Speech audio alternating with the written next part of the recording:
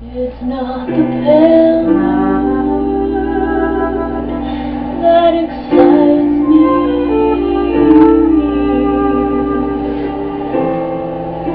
That thrills and delights me. No. It's just the nearness.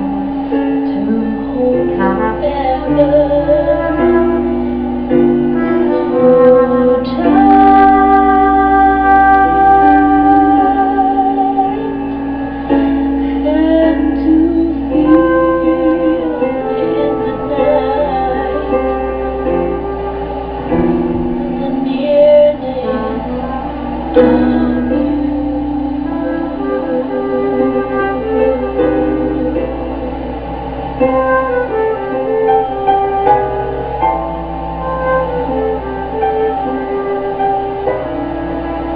you.